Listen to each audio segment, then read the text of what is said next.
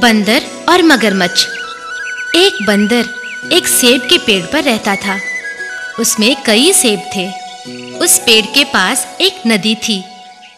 एक दिन उस नदी से एक मगरमच्छ निकला जो भूखा था। उसने बंदर से सेब मांगी। बंदर ने उसे सेब दिया।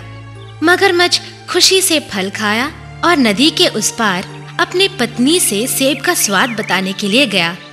उसकी पत्नी बहुत लालची थी।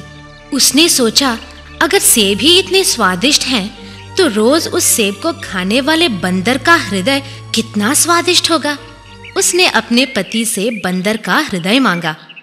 मगर ने कुछ न सूझने के कारण बंदर से जाकर बोला, हे hey बंदर, मेरे पत्नी ने तुम्हें मेरे घर आमंत्रित किया है। तुम मेरे साथ आओ। बंदर ने निमंत्रण स्वीकार किया और मगर के पीछे बैठकर उसके घर जाने लगा।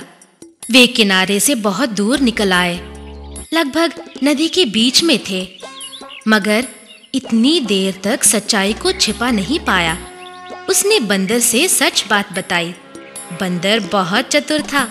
तुरंत उसने कहा, अरे दोस्त, अगर तुम इस बात को पहले बता देते तो मैं अपना हृदय को उस पेड़ पर नहीं छोड़ता।